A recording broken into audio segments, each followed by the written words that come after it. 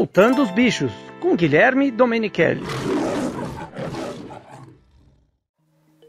Alguns animais têm aparências bem estranhas e às vezes até primitivas.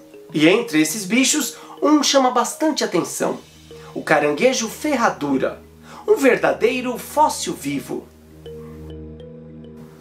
Uma curiosidade bem legal é que o sangue dos caranguejos ferradura tem a cor azul. Aliás, um azul bem bonito.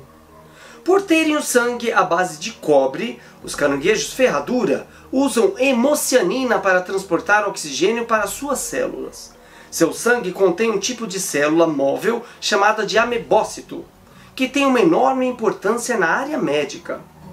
O sangue do caranguejo ferradura do Atlântico é colhido para extração dessa célula, que tem aplicações na fabricação de um tipo de reagente conhecido como LAL, que é usado para detectar endotoxinas bacterianas.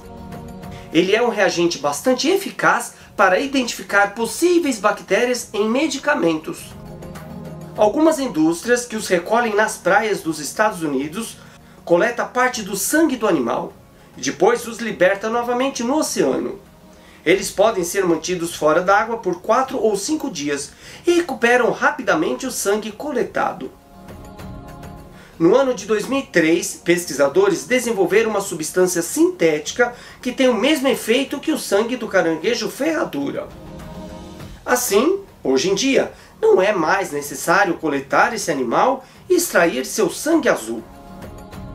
Mesmo assim, algumas indústrias ainda fazem isso. Vamos ver se essa prática se encerra logo de uma vez para que esses animais possam viver livres e tranquilos.